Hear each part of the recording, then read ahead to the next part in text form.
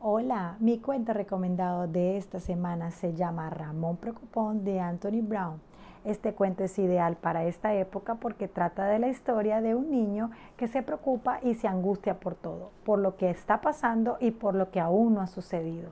Se preocupa por las formas que ve en la ventana, se preocupa por sus sueños, se preocupa por sus exámenes, por sus padres, por las nubes, por absolutamente todo.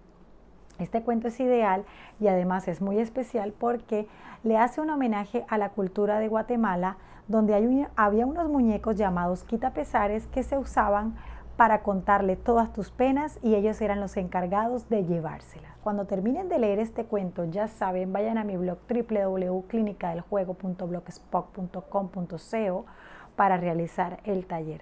Recuerda más literatura y por favor hablemos con los niños de las cosas que les inquietan.